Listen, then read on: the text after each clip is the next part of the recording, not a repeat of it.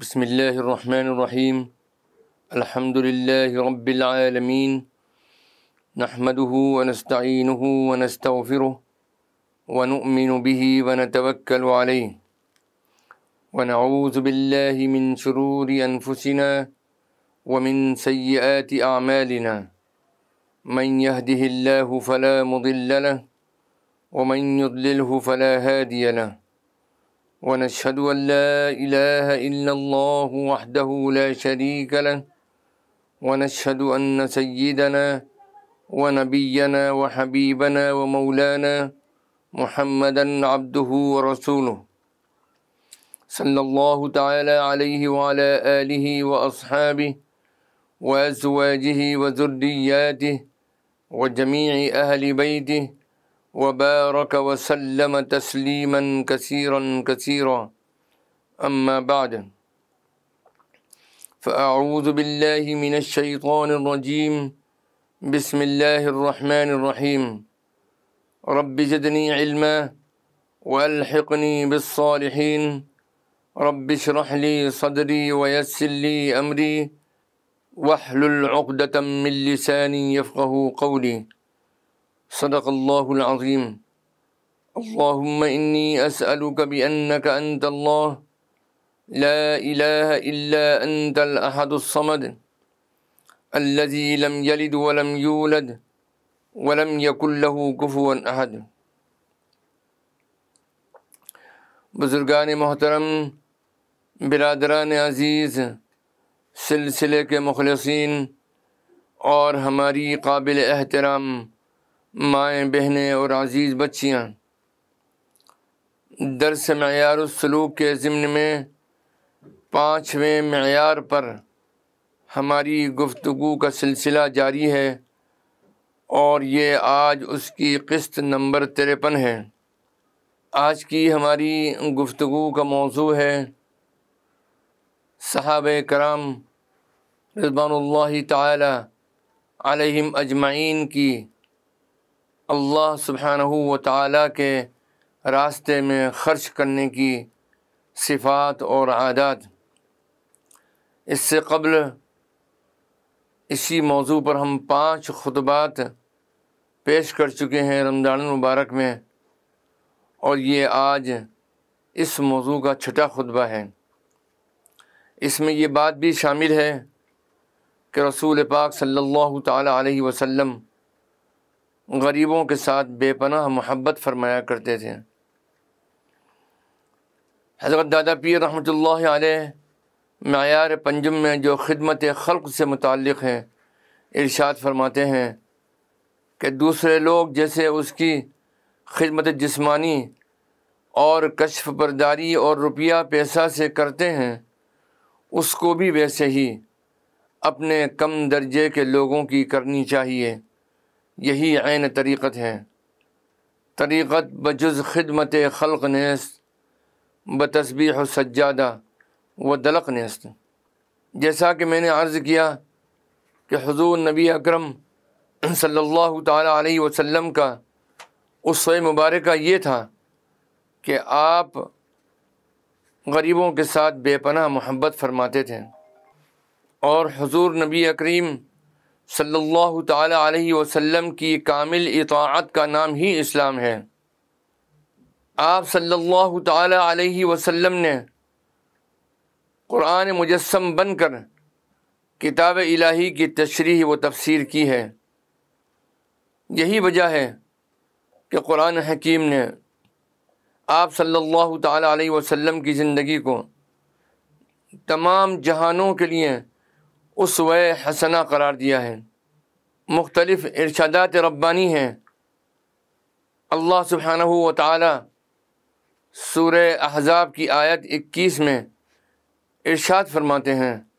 اعوذ باللہ من الشیطان الرجیم۔ بسم اللہ الرحمن الرحیم۔ لقد كان لكم في رسول اللہ اسوۃ حسنہ۔ اے مسلمانوں تمہارے لیے اللہ کے رسول میں ایک بہترین نمونہ ہے۔ صلی اللہ علیہ وسلم۔ سورہ انفال کی آیت چوبیس کے اندر ارشاد ربانی ہے۔ یا ایوہ الذین آمنوا استجیبوا للہ وللرسول اذا دعاکم لما یحییکم۔ اے اہل ایمان لبے کہا کرو اللہ اور رسول اللہ صلی اللہ علیہ وسلم کی پکار پر جب تمہیں وہ پکاریں، اس شے کے لیے جو تمہیں زندگی بخشنے والی ہے۔ کامل اطاعت ہی عمل کی تحریک کو جنم دیتی ہے۔ اور دل میں عمل کا دائیہ پیدا کرتی ہے۔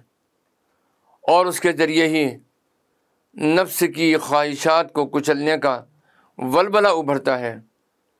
اسی لیے فرمایا گیا۔ اللہ سبحانہ و تعالیٰ فرماتے ہیں، قل عطی اللہ و عطی الرسول۔ اے نبی، آپ کہہ دیجیے کہ تم لوگ اطاعت کرو اللہ کی اور اطاعت کرو رسول اللہ کی۔ صلی اللہ علیہ وسلم۔ سورہ نساء کے مطالعے سے یہ بات پتہ چلتی ہے کہ منافقین پر تین امور بہت بھاری تھے۔ یعنی حضور صلی اللہ تعالی علیہ وسلم کی شخصی اطاعت، جہاد اور قتال کے لیے نکلنا اور ہجرت۔ چنانچہ زیر نظر آیت میں ان تین میں سے پہلے معاملے یعنی اللہ سبحانہ و تعالی اور اس کے رسول صلی اللہ تعالی علیہ وسلم کی اطاعت کے بارے میں تاکید کی جا رہی ہے۔ فعن طول فعن نما علیہ محمل و علیہ کم محمل تم پھر اگر تم منہ موڑتے ہو، تو سن رکھو کہ ہمارے نبی پر صرف وہی ذمہ داری ہے جو ان پر ڈالی گئی ہے، اور تم پر وہ ذمہ داری ہے جو تم پر ڈالی گئی ہے۔ رسول اللہ صلی اللہ تعالیٰ علیہ وسلم کی ذمہ داری لوگوں تک اللہ سبحانہ و تعالیٰ کا پیغام پہنچانے تک ہے۔ اور آپ صلی اللہ تعالیٰ علیہ وسلم سے اسی ذمہ داری کے بارے میں پوچھا جائے گا۔ اب جب آپ صلی اللہ تعالیٰ علیہ وسلم نے تم لوگوں تک اللہ کا پیغام پہنچا کر اپنی ذمہ داری ادا کر دی تو اس کے بعد ان احکام کی تعمیل کرنا اور اللہ کے دین کے لیے تن من دھن قربان کرنا تم لوگوں کی ذمہ داری ہے۔ اور تم لوگ اپنی اس ذمہ داری کے بارے میں اللہ تعالیٰ کے ہاں تم سے سوال کیا جائے گا۔ ایک حدیث جو کہ حضرت ابو حریرہ رضی اللہ تعالیٰ عنہ سے مروی ہے۔ امام بخاری رحمۃ اللہ علیہ نے اس حدیث کو اپنی صحیح میں نقل کیا ہے۔ عن ابی حریرت رضی اللہ تعالی عنہ ان رسول اللہ صلی اللہ تعالی علیہ وسلم قال، من اطاعنی فقد اطاع اللہ، ومن عصانی فقد عص اللہ، ومن اطاع امیری فقد اطاعنی، ومن عصا امیری فقد عصانی حضرت ابو حریرہ رضی اللہ تعالی عنہ بیان کرتے ہیں کہ رسول پاک صلی اللہ تعالی علیہ وسلم نے فرمایا، جس نے میری اطاعت کی، اس نے اللہ کی اطاعت کی۔ اور جس نے میری نافرمانی کی، اس نے اللہ کی نافرمانی کی۔ اور جس نے میرے مقرر کیے ہوئے امیر کی اطاعت کی، اس نے میری اطاعت کی۔ اور جس نے میرے امیر کی نافرمانی کی، اس نے میری نافرمانی کی۔ امام عبد بن حمید، علامہ ابن جریر، اور امام ابن ابی حاتم رحمۃ اللہ تعالیٰ علیہ اجمعین نے حضرت عطا رضی اللہ تعالیٰ عنہ سے آیت کی تفسیر کے بارے میں یہ قول نقل کیا ہے کہ رسول اللہ صلی اللہ تعالیٰ علیہ وسلم کی اطاعت کتاب و سنت کی اتباع ہے۔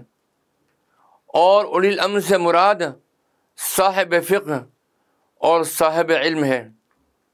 حضرت عبد الرحمن بن ابی بکر رضی اللہ تعالی عنہ بیان کرتے ہیں کہ صفہ والے محتاج اور غریب لوگ تھے۔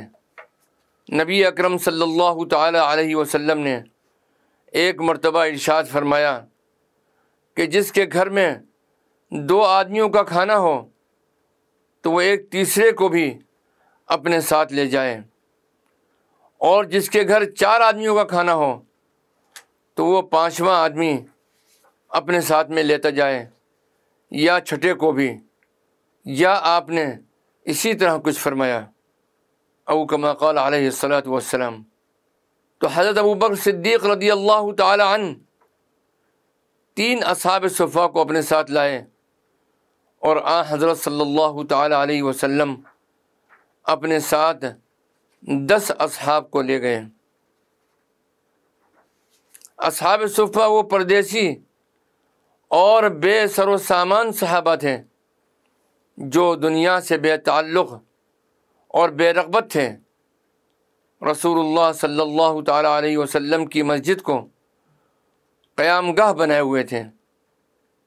مسجد کے آخر میں ان کے قیام کے لیے ایک چبوترا تھا جو مسجد سے علیحدہ تھا اور اس پر سائے کے لیے کچھ پڑا ہوا تھا۔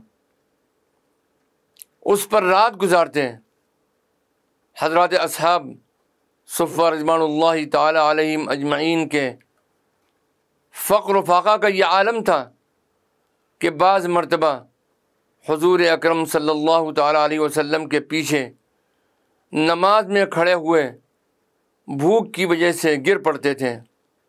اور شہر کے باہر سے آنے والے لوگ ان کو دیکھتے تو دیوانہ کہتے تھے کہ یہ لوگ نماز پڑھتے ہوئے گر پڑتے ہیں۔ یہ تو دیوانے ہیں۔ رسول اللہ صلی اللہ تعالیٰ علیہ وسلم نماز سے فارغ ہوتے تو ان سے فرماتے تھے کہ اگر تم کو علم ہو جائے کہ تم کو اس فقر فاقہ کی وجہ سے کیا ملنے والا ہے، تو تم اس سے بھی بڑھ کر فاقہ اور محتاجگی کی تمنا کرو۔ ایک مرتبہ حضرت ابو بکر صدیق رضی اللہ تعالیٰ عنہ نے فرمایا کہ ہم سات آدمی مدرسے صفہ میں تھے اور ساتوں بھوکے تھے۔ لہذا رسول اللہ صلی اللہ تعالیٰ علیہ وسلم نے مجھے یعنی ابو حریرا کو سات کھجوریں عنایت فرمائیں اور فی کس ایک ایک دانہ کھجور حصے میں آئی ایک مرتبہ آپ صلی اللہ تعالیٰ علیہ وسلم کو کھانے کے لیے کچھ نہ ملا اور اسی حالت میں تین دن گزر گئے اور ایسی کمزوری ہوئی۔ کہ صفحہ تک جانا مشکل ہو گیا۔ چلتے چلتے گر پڑتے۔ یہ حالت دیکھ کر لڑکے کہنے لگے کہ ابو ریرا دیوانہ ہو گیا ہے۔ اسی طرح جب صفحہ پر پہنچا تو وہاں دیکھا جناب نبی اکریم صلی اللہ تعالی علیہ وسلم کی خدمت میں سرید کے دو پیالے ہدیہ پیش کیے گئے۔ اور آپ صلی اللہ تعالیٰ علیہ وسلم ان پیالوں میں اصحاب صفحہ کو کھلا رہے ہیں۔ حضرت ابو حریرا رضی اللہ تعالیٰ عنہ فرماتے ہیں کہ میں قریب ہو کر اونچا ہوتا تاکہ آپ صلی اللہ تعالیٰ علیہ وسلم کی نظر مبارک مجھ پر بھی پڑ جائے اور آپ مجھے بھی بلا لیں۔ حتیٰ کہ سب فارغ ہو گئے اور میں کھڑا کا کھڑا رہ گیا۔ ایک پیالے کے کناروں پر جو کچھ لگا رہ گیا تھا، اس کو جمع فرما کر حضور اقدس صلی اللہ تعالی علیہ وسلم نے مجھے عنایت فرمایا۔ جو ایک لقمے سے زیادہ نہیں تھا، آپ صلی اللہ تعالیٰ علیہ وسلم نے فرمایا، اللہ تعالیٰ کا نام لے کر کھاؤ، خدا کی قسم، اس میں اتنی برکت ہوئی۔ کہ میں اس کو کھاتا رہا، یہاں تک کہ میرا پیٹ بھر گیا۔ ایک دفعہ رئیس فدق نے چار اونٹ خدمت نبوی میں بھیجے۔ ان اونٹوں پر اناج اور کپڑا لدا ہوا تھا۔ حضور اقدس صلی اللہ تعالیٰ علیہ وسلم اس وقت مسجد میں تشریف فرماتے ہیں۔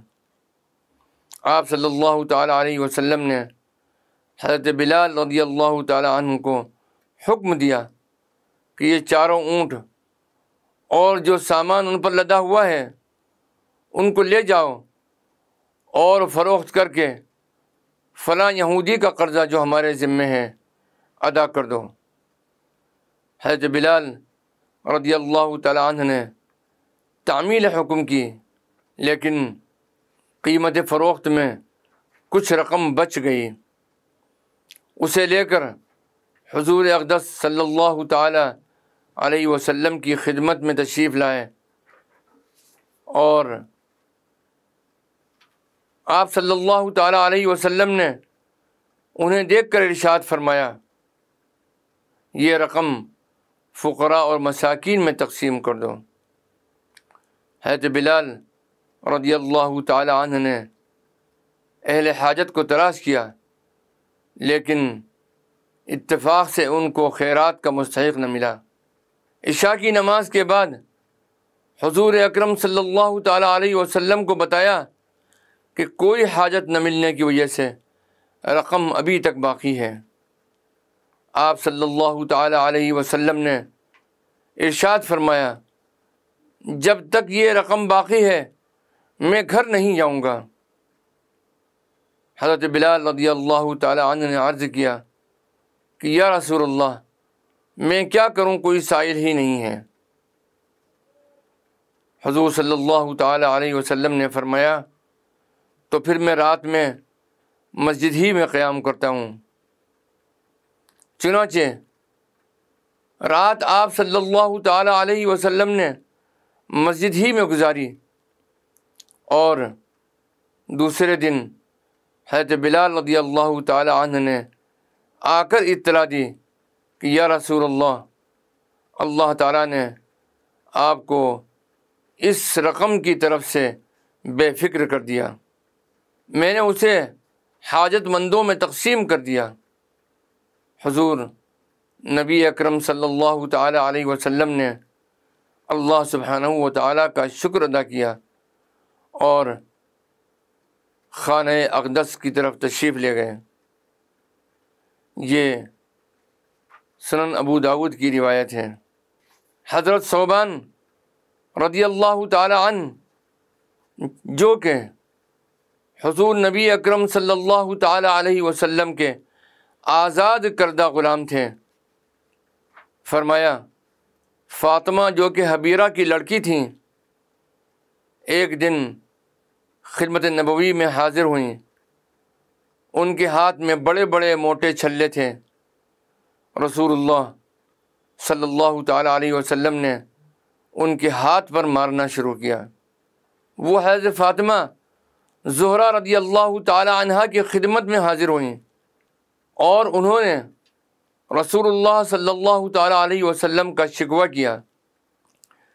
حضرت فاطمہ زہرہ رضی اللہ تعالیٰ عنہ نے یہ سن کر اپنے گلے کا ہار نکال دیا، جو کہ سونے کا تھا، اور کہا، یہ مجھ کو ابو الحسن نے تحفہ بخشا ہے۔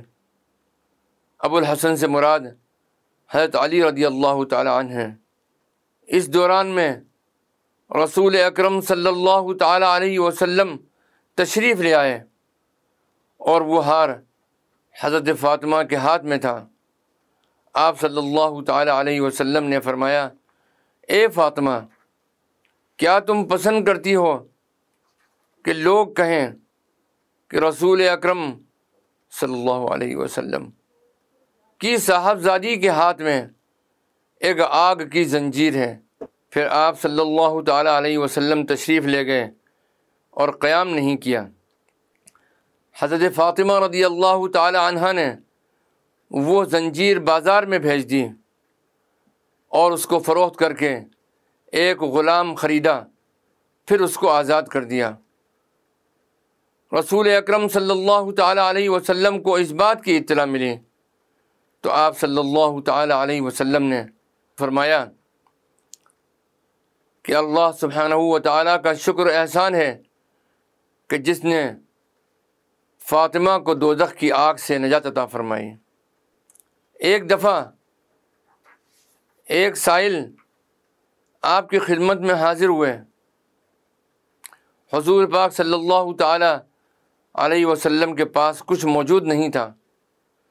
گھر میں پیغام بھیجا۔ کچھ ہو تو اسے دے دو۔ جواب آیا کہ صرف تھوڑا سا آٹا ہے جو رات کے لیے رکھا ہے۔ کہلا بھیجا کہ سائل کو دے دو، یہ بھوکا ہے۔ حید عائشہ صدیقہ رضی اللہ تعالی عنہ فرماتی ہیں کہ ہم نے وہ آٹا سائل کو دے دیا اور خود ساری رات فاقے میں بسر کی ایک اور موقع پر ایک حاجت مند آپ صلی اللہ تعالی علیہ وسلم کی خدمت میں حاضر ہوئے۔ تو اتفاقاً اس وقت بھی آپ صلی اللہ تعالیٰ علیہ وسلم کے پاس کچھ موجود نہ تھا۔ آپ صلی اللہ تعالیٰ علیہ وسلم نے ایک شخص سے نصف وسق غلہ قرض لیا اور اسے دے دیا۔ تھوڑی دیر بعد قرض خواہ تقاضا کرنے لگا۔ آپ صلی اللہ تعالیٰ علیہ وسلم نے اسے ایک وسق عطا فرمایا اور کہا، آدھا قرض کی ادائیگی میں اور آدھا ہدیہ۔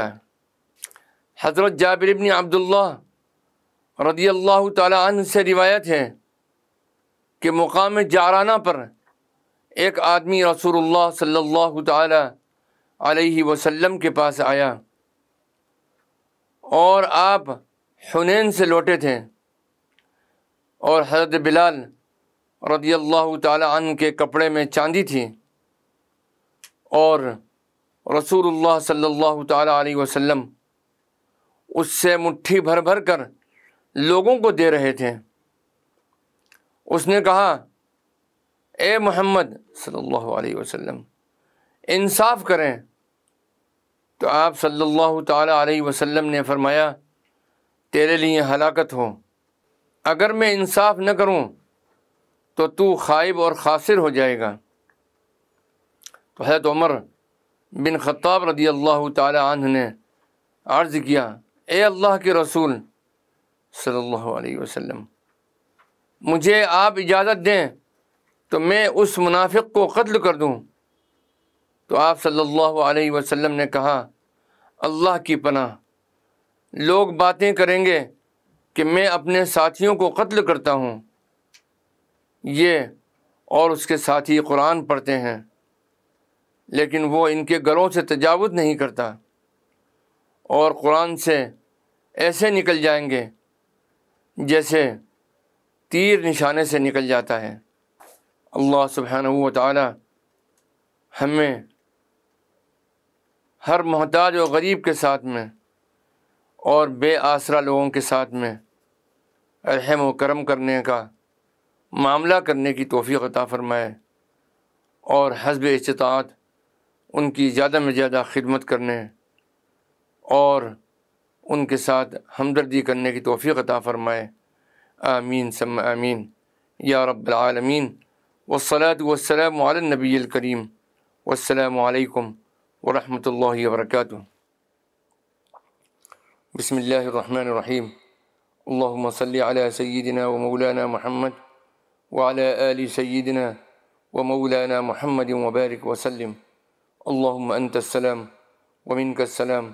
آل سیدنا و مولانا محمد وبارک وسلم اللهم أنت السلام ومنك السلام تبارك يا ذا الجلال والإكرام. ربنا عليك توكلنا وإليك أنبنا وإليك المصير. ربنا لا تجعلنا فتنة للقوم الظالمين ونجنا برحمتك من القوم الكافرين. ربنا تقبل منا إنك أنت السميع العليم. وتب علينا إنك أنت التواب الرحيم. وصلى الله تعالى على خير خلقه سیدنا محمد وعلى آله وأصحابه أجمعين.